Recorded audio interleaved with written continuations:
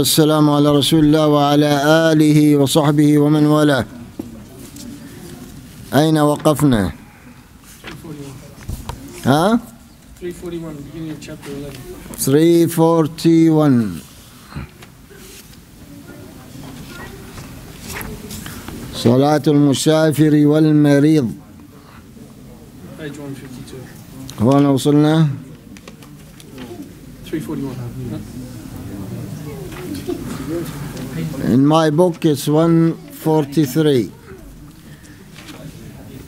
الحديث he told you 341 but he said the page something I said to him in my book the page is different. يلا يا شباب أين قارئنا بالإنجليزي يلا محمد علي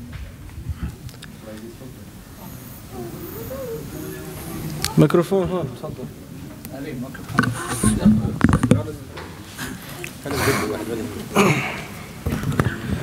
باب صلاة المسافر والمريض.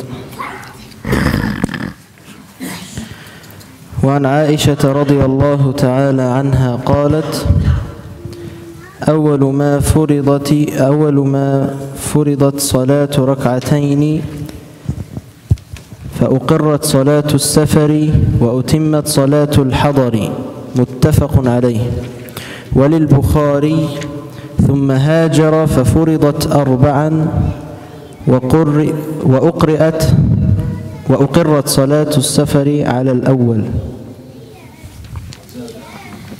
وزاد أحمد إلا المغرب فإنها وتر النهار وإلا الصبح فإنها تطول فيها القراءة Chapter 11 The prayer of a traveler and a sick person. Narrated Aisha radiallahu anha that when the salat was prescribed, it consisted of two rakat. Afterwards, the prayer during traveling was confirmed as two rakat, while the prayer at the place of residence was completed as four rakat, agreed upon. Al Bukhari has then Allah's Messenger sallallahu alaihi wasallam emigrated and was prescribed as four. But prayer while traveling was left according to the original prescription of two rakat. Ahmad added, except the Maghrib prayer, for, for it is witr prayer of the day. And except the Fajr prayer, since the recitation of the Quran is prolonged in it. وعن عائشة رضي الله تعالى عنها أن النبي صلى الله عليه وسلم كان يقصر في السفر ويتم ويصوم ويفطر. رواه الدار قطني ورواته ثقا- ثقات. إلا أنه معلول والمحفوظ عن عائشة من فعلها وقالت إنه لا يشق علي. أخرجه البيهقي. Narrated Aisha radiallahu anha, while on a journey, the Prophet wasallam used to shorten the prayer sometimes and offer it completely sometimes. Similarly, he used to observe fast sometimes and break it sometimes. At Darakutni reported it, and its narrators are reliable, but it is a defective hadith. The Mahfuz correct narration from Aisha concerning this matter is that it was her practice, that she offered the prayers in the complete form during traveling, and not the practice of the Prophet. She said, It is not hard for me. Al Bayhaqi reported it. وعن ابن عمر رضي الله تعالى عنهما قال قال رسول الله صلى الله عليه وسلم إن الله يحب أن تؤتى رخصه كما يكره أن تؤتى معصيته رواه أحمد وصححه ابن خزيمة وابن حبان وفي رواية كما يحب أن تؤتى عزائمه Narrated Ibn Umar radiallahu anh, Allah's Messenger sallallahu alaihi wasallam said, Allah the Most High loves that His permissions be practiced, just as He dislikes that disobedience to Him be committed. Ahmad reported it. Ibn Khuzaymah and Ibn Hibban graded it Sahih. A narration has, as he loves that his duties be observed. وعن انس رضي الله تعالى عنه قال كان رسول الله صلى الله عليه وسلم اذا خرج مسيره ثلاثة اميال أو فراسخ صلى ركعتين رواه مسلم Narrated Anas, when Allah's Messenger sallallahu alaihi wasallam went out on a journey of three miles or three farasikh, he used to pray two rak'at, reported by Muslim.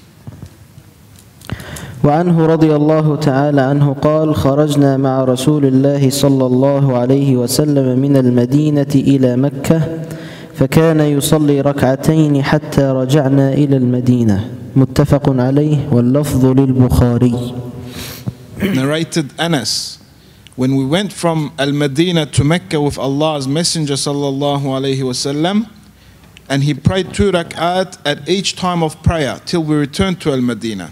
Agreed upon, and the wording is Al Bukhari's. وعن ابن عباس رضي الله خليني يوقفوا ال The speakers? لا they're playing something What they're talking about.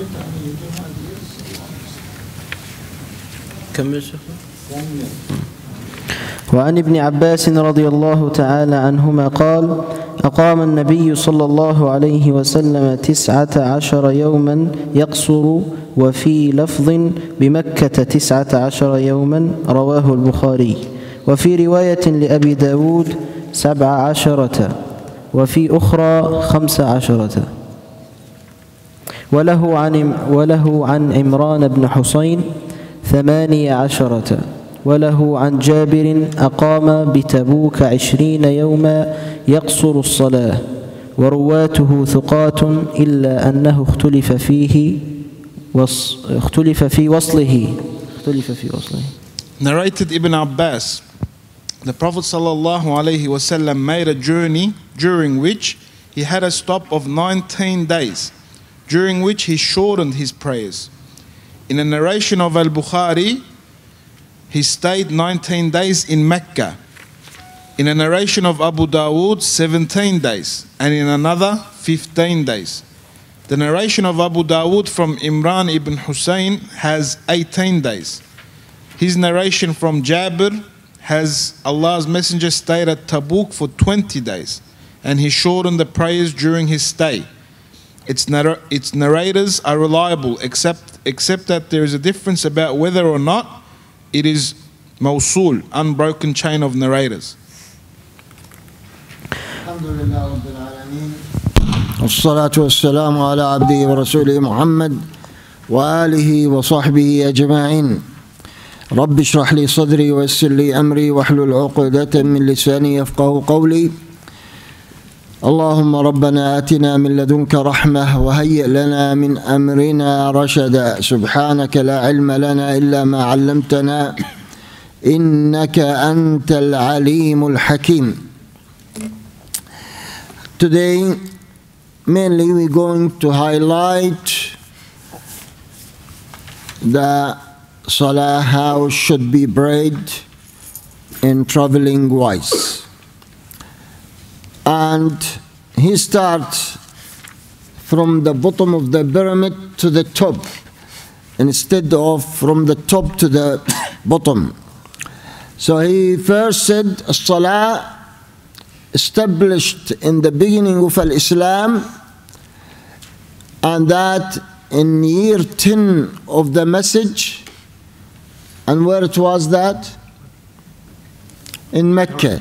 So year 10 was in Mecca, the Salah was established in that form. Two rak'ah every Salah.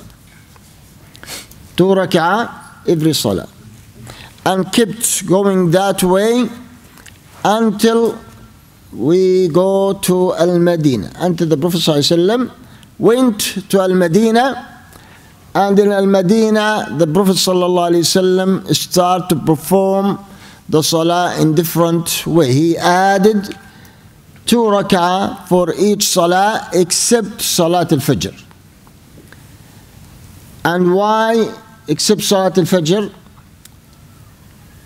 Because it's two rak'ah anyway.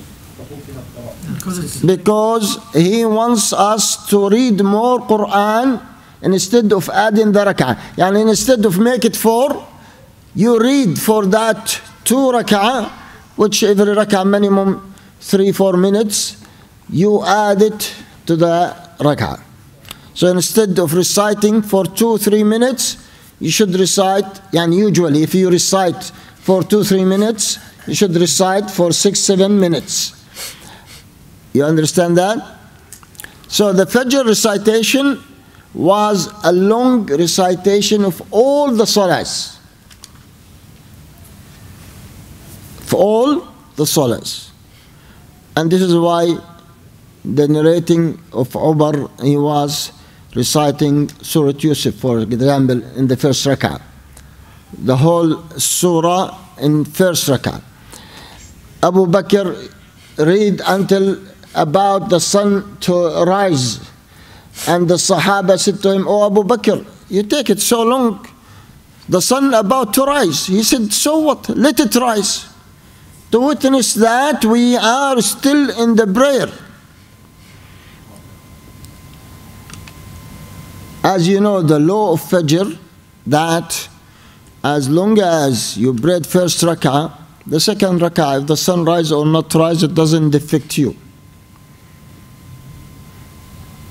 even you as a normal prayer, and you pray with Huwa Allahu Ahad, as long as you pray first rak'ah, with Qul Huwa Allahu Ahad, the second rak'ah, if you, the sunrise, uh, while you are praying it, even with Al-Fatiha only, is Salah accepted. So how about if you start 6 o'clock reciting until 7.20 the, salah, the sunrise? There is no harm in that. As long as the first rak'ah finished before that. So if the second rak'ah come finished 7.30, there's no harm. In the opposite, Abu Bakr saying that is something you should value it. You should appreciate it. You should be happy with it that the sun come in the day of judgment witness for you that she rised while you are in the salah. She sit and you pray and she rise, you pray. And he always, she witness on you that you're praying all the time. Like you are praying all the day and all the night.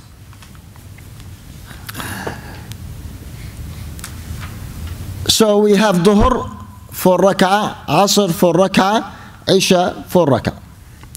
Now Maghrib add only one rak'ah. Why? To divide the day between night and day. So Maghrib is the witr of the day. So the day finished by Maghrib. And the witr of the night, before you sleep, you finish the night work.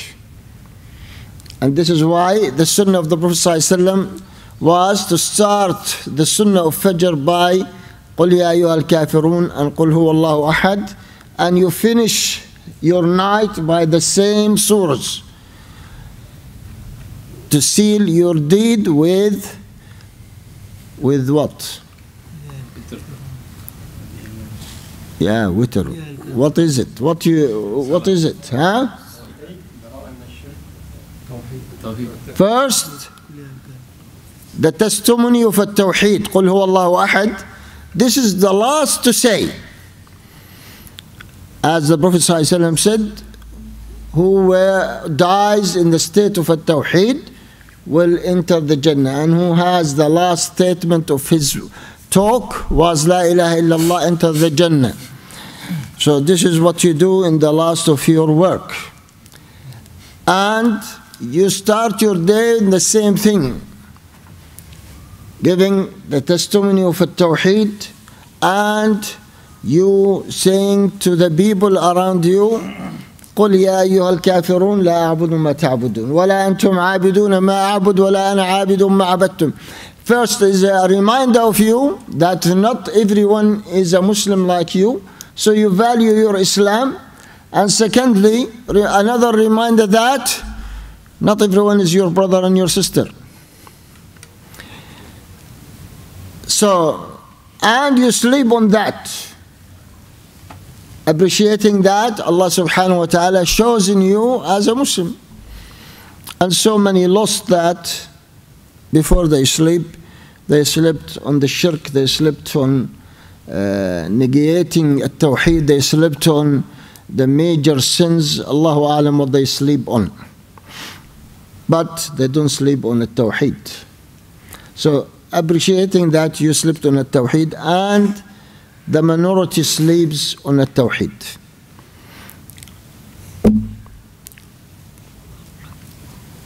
So this is how a salah established. Established two rak'ah. And the, the, the, the companions say, this is how it being fixed after.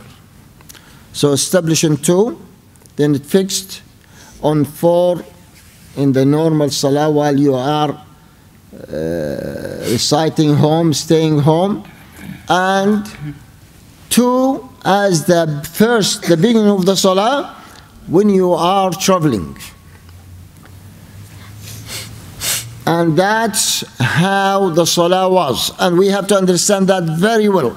If we understand that hadith, then the rest of the hadith we put it aside and we push it out of our mind, even if it is mentioned here as a second of the hadith.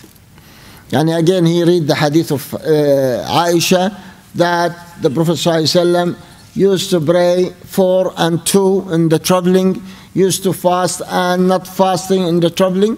That is disregarded completely, even if the hadith is sahih. Why? Because the Prophet ﷺ will establish something, he will not go and negate that what he established.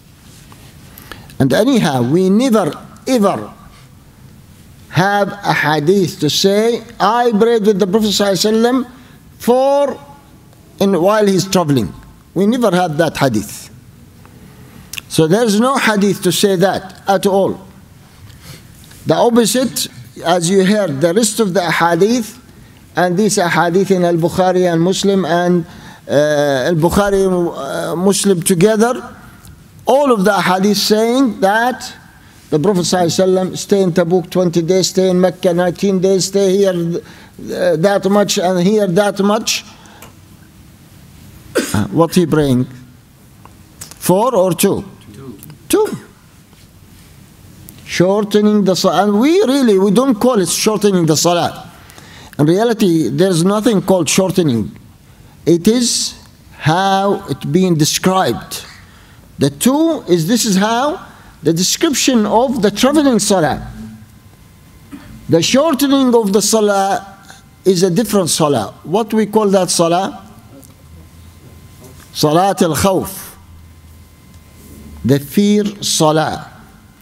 When you are in a state of war or a state of this, uh, uh, how say it? Uh, what do I call it? losing the security of yourself as a person or as the whole community. Yani, as the people now, if they are running from the enemy, even if they are not in the war, yani, the enemy attacking them like what's happening in Syria and the brothers or the families or the communities running from that, from one area to another area, how they pray? If they know, they should pray either one rak'ah or two rak'ah with so many different narrations in that.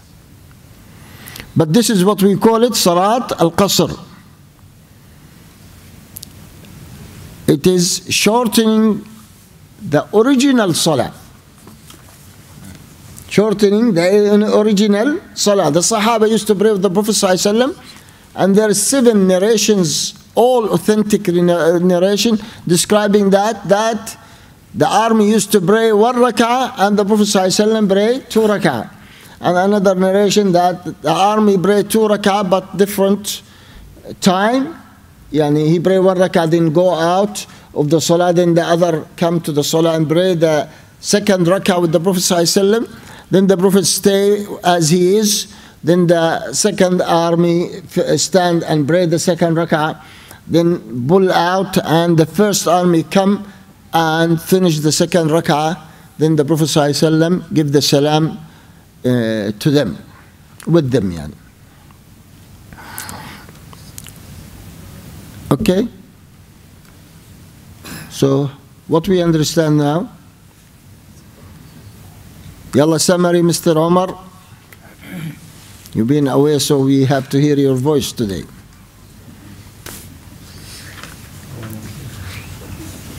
Come on.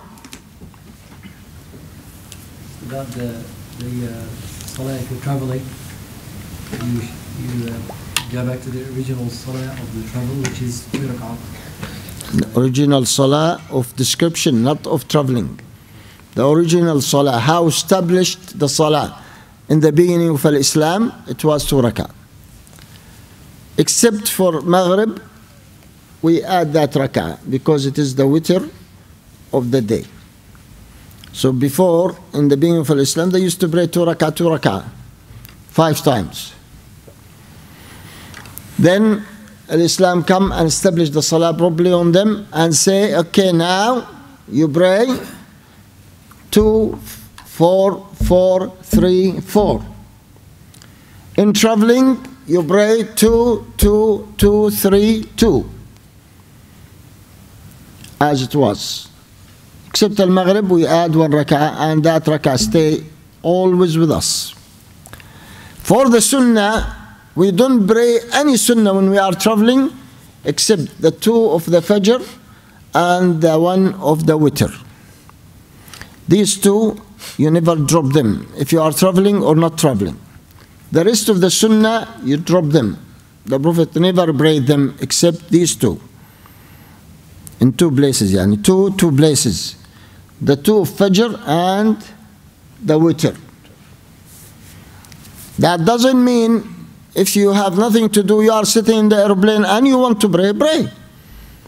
Or in the car, or in the bus, wherever you are. And you don't need to face Al Qibla while you are traveling for the uh, uh, Nafil Salah. Only you need that if you can in in what? Compulsory Salah. So if you are driving a car from here to Sydney, you have to stop the car and pray Dhuhr or Asr or Maghrib or Isha or Fajr. But you can driving and pray Tanafful. You want to make Qiyam al-Layl, make Qiyam al-Layl. While you are driving to Sydney, not as a driver, no, please. but as a sitting there doing nothing, pray. The Prophet used to pray on his camel and let the camel go by itself. And the camel knows where to stop and how to stop, so they don't go on the wall or on, they know how to, to, to do it by themselves. The car doesn't know that, unfortunately. With all the technology we have, we cannot make a car like our horses or our camels, who knows the way and can take you wherever you like without you forcing them to do that or direct them to do that. If you are in the aeroplane, of course, you do what you can, as much as you can. Alhamdulillah, now with the big aeroplanes, there is a lot of freedom to pray. Uh, and if you, have, you are going uh, to the Middle East, uh, you pray. This is how the Qibla, anyhow you pray as the direction of the flight, but the problem when you are coming back, the Qibla will be in your back. So you have to turn the other way and pray. The second matter in this ahadith is, if you see behind the scene, why they mention these days.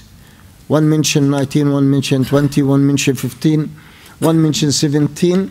All that because they're showing you the Imam here, Ibn Hajar, trying to show you the difference between the scholars for how many days, alaykum salam, for how many days you can make qasr. So some they say the Prophet ﷺ only make 20 days. Some they say only make 15 days. some they say 17, whatever the narration. But if you look in this narration, you can't tell from the narration itself that the days wasn't the important issue here. He spent 20 days in Tabuk and he spent 15 days in Mecca. So that has nothing to do with, if it is 15, why he spent 20 in Tabuk? So it's, uh, this is, has nothing to do with the reality of the time. So you have to go and dig down and see what is the reason, what allow you to be a traveler, how you can stay as a traveler. Of course, as Imam Ahmad say, a traveler goes only for 20 salah. Sorry, And after 20 salah, you are not traveler. And he said, who understand the language, understand what al-musafir means. But the Prophet ﷺ went over this, sometimes three times over the 20 salah, sometimes more than that. So we don't want to go to the language to discover you are a traveler or not. It could be one day and you are not a traveler after that. And if you have home, let's say, in your birth town, and you go to visit your mom and dad there, as soon as you arrive there, you are not traveler, because this is your home. You don't feel you are a traveler anymore. True? Yes? True. And we cannot call you a traveler and we don't allow you to be a traveler. The same one could go to his country, his birth uh, area and uh, or his father's town or and he's still a traveler because he doesn't have uh, his home at all. He doesn't feel he is at home, and uh, he doesn't have that much relation with that home. It's not home anymore. So that depends on you and your feeling, as Aisha said, as you have your luggage in your uh, uh, bags, then you are not traveling. You don't feel you are uh, anymore uh, a citizen or a resident of that area. But if you are relaxed and settled down, and even if it is only a small visit, the visit doesn't mean how many days you are staying. The matter is how you feel about that staying. You feel you are a visitor, or you feel you are uh, a hometown boy. So that's the difference, and that difference charge you with what you are in that area. Either you are a visitor, then you can short your salah, and if you want not to fast, you can not to fast. Uh, but as long as you feel you are at home, and especially if your family is there and you have your own home there, and different than if you are going to visit your f- uh, far family, not immediate, yani not a father and a mother, they are not there anymore. Maybe you don't feel it is your home, especially if you establish here. Different than people came only few years here, they don't feel it is home here. They feel still, but after 20, 30 years, you don't feel that is your home anymore. Wallahu alam. Then the time is not important. The important is the state you are in. Secondly, the distance. Again, the distance doesn't mean much to us, especially nowadays. You can say أربع فراسخ ولا خمس فراسخ uh, 20 kilos or 30 kilos or 40 kilos or 80 or 100 kilos. Uh, that is not really uh, essential. Depends on the countries. And if you are, for example, in a small country, and uh, 20 kilos, uh, it means a lot to them. Yani, really, if you are in a small country, uh, like Lebanon, for example, and you want to travel 20, 30 kilos, you feel you are like traveling a long distance because it is half of the country, so you are running far from home. But if you are like Australia and 20 kilos, the people go 70 and 80 kilos every day to their work. So he goes 70 kilos and come back 70 kilos, and he doesn't feel in any way he is far from home. He is not traveling in any way, and no one can call him a traveler because he does it every day. So it's normal of him to go 100 or 50 kilos or something like that. So the, the, the, length of the distance doesn't mean much to us as long as the habit of the people, how they see it. So in our uh, decoration, uh, you go to Dandenong, you come back, so it's, uh, the taxi goes maybe three, four times a day to Dandenong and he doesn't feel at all he is traveling or anything like that. He take them from the airport to Dandenong, he return and he take other people to maybe Geelong and come back and so depends on how the distance uh, seen by the people of that area or that country. Any questions? No questions? Yes, yes, yes, question. Okay. Um, When you're traveling as a group, mm -hmm. as a, you're traveling as a group and you have an emir, you know how it's up to the individual how they determine whether they're traveling or they're not traveling. When you're traveling with a group, the emir should decide whether you're traveling as a group or not. But you, mm, today, you have people that are very bloody minded, if I can say that way. Um, they say we're traveling 50 kilometres is not traveling. When we travel 200 kilometres, it's traveling, but the Emir says we're going to do to Safar Salah. What's the right position here? Is it still up to the individual, or is it because of the group it's an Emir? Decides after he does ijma, ijma, ijma with the people.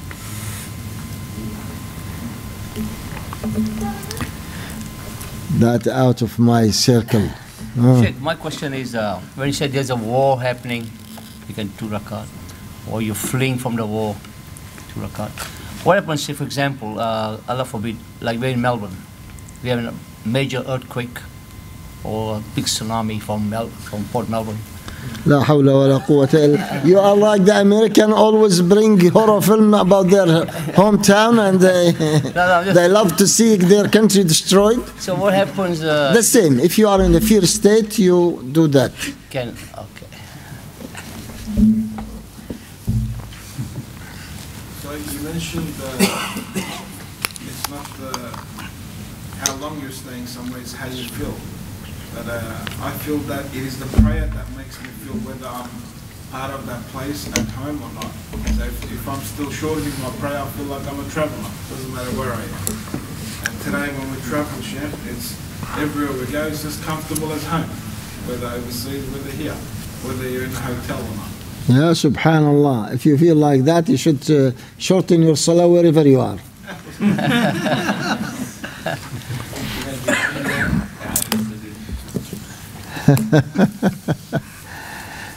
Uh,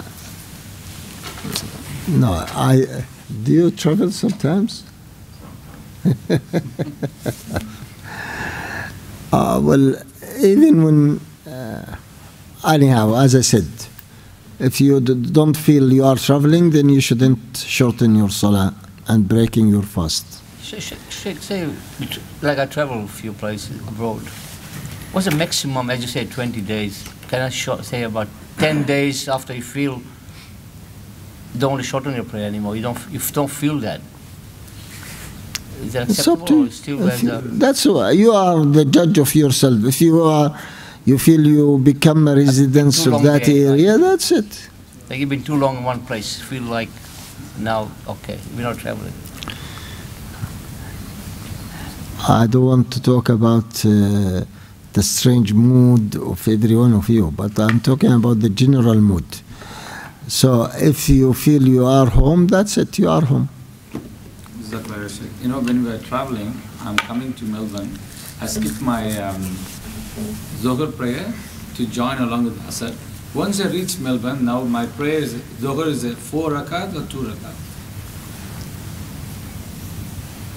Now I'm, I was traveling during the Zohar. So you reach Melbourne in Dhuhr time or in Asr time? Asr time. If you reach in Asr time, you pray Dhuhr two rak'ah and Asr four rak'ah. So when, I, when I'm starting actually to travel, from my home I became a traveler or only after a certain kilometers I became a traveler? As soon as you hit the airport Okay. and they take your luggage from you and allow you to travel, you become a traveler. What about the car? Before that, it was the condition wasn't there. So now we add that condition because you don't know if you travel or not. But uh, in normal circumstances, as soon as you arrive uh, to the airport, you become a traveler. So while traveling, you know, facing uh, for the um, Fard Salah, facing the, uh, the Qibla, is it throughout the Salah or only the beginning of the Salah facing that? If it's backwards, will it face always uh, the whole Salah or just The whole salah, the whole salah. You mentioned uh, regarding Abu Bakr praying after. This is, uh, I'm- I'm not saying, I'm not asking whether Abu Bakr is, uh, has followed the Prophet Sallallahu Alaihi Wasallam. I'm not going into that question. I'm saying this is after, the, after uh, he was leading during his Khilafah, right? So, this is, uh, this, is there a, an example from the Prophet as well that he, he also prayed like this?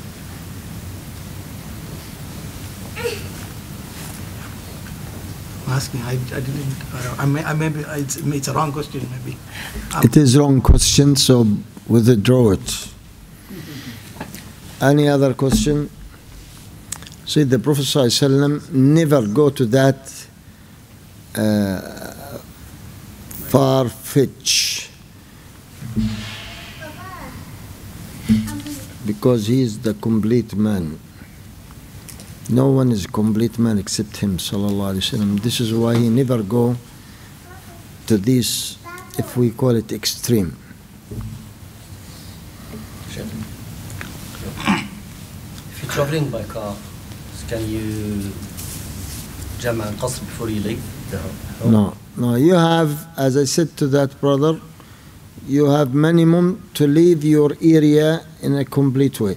So if you are traveling by car now from Roxy and you live in Roxy, so you have to reach to, for example, the end of that e- area, which is the end of uh, uh, in the highway, then you become a traveler.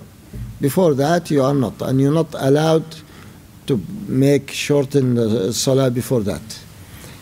That different than breaking the fast. If you want to break your fast, you can break your fast at home, because the fasting cannot be divided.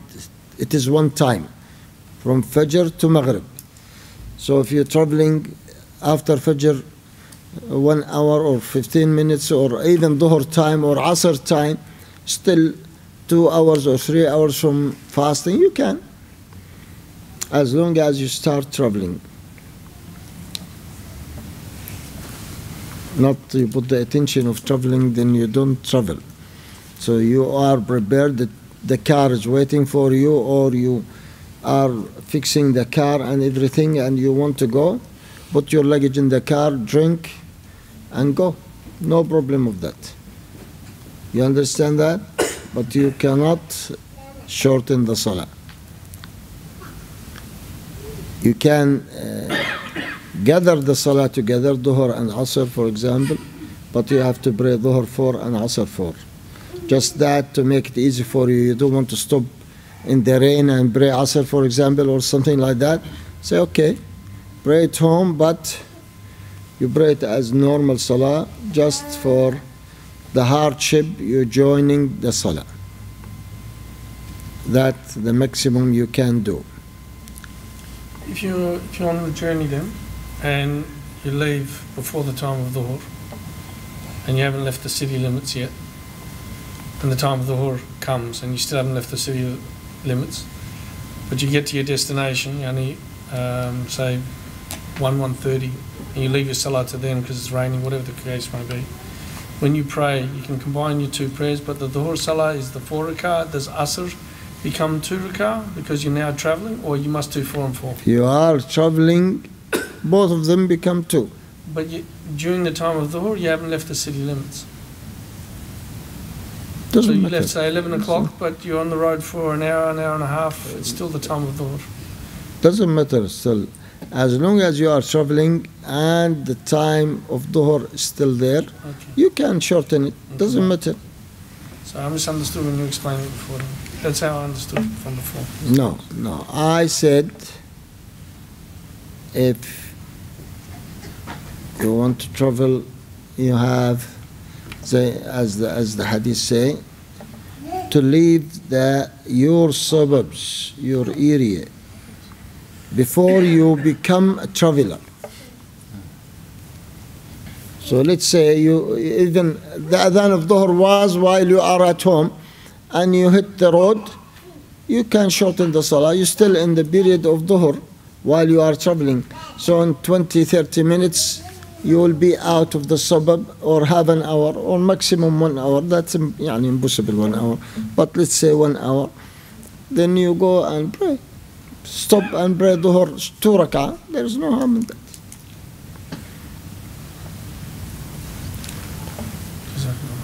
Uh, And let's say you are in the city and you came and you're going to Sydney, you have to pass this area. So you went, it is uh, Dhuhr Salah, you pass the mosque here, say, okay, instead of praying in the street, I pray in the mosque. You come here, you pray Dhuhr two rak'ah and Asr two rak'ah and you continue. Of course, if the Jama'ah is here, you pray with the Jama'ah four, Dhuhr, but you join the Asr and you pray Asr two rak'ah and you continue. Exactly. You when, we, when you travel to um, um, Makkah or Medina, for the, we have to pray two rakah, we have to pray the full salah there. For all the sunnah salah, all the, all the fard salah. Behind the imam. Didn't I just say it now? What did I say just now? All travelers do. I said if you join the Jama'ah, you pray as a Jama'ah. Jannah full pray. If you pray alone, you pray too. Exactly. Didn't I say you pass this center and you find the Salah, you join the Jama'ah? If you don't learn how to put things together, you will never learn to be a faqih. I don't want to give you in your mouth every piece of uh, the understanding of the hadith. You have to understand. I said, if you do that, then wherever you are, any mosque in the world, you go, you have to join the people of the mosque. If you pray alone in the hotel uh, or wherever you are, in the street, in the road, you pray two rak'ah. So Mecca, Medina, anywhere, but you will be, uh, unless you have circumstances, you will be a naive person, a stupid person, to pray in the hotel while the Jama'ah there, you pray either 27,000 or uh, 2,700,000. Yani you lose so much of the salah if you pray alone. And if you you pray alone in Al Haram, Mecca, you pray 100,000. If you pray with the Jama'ah, it will be 2,700,000. So which one you go for? Especially if you are not sitting there. Yani if you are, it is your home, different story. If you miss one salah, you, you get other salah. If you miss one day, you get another day.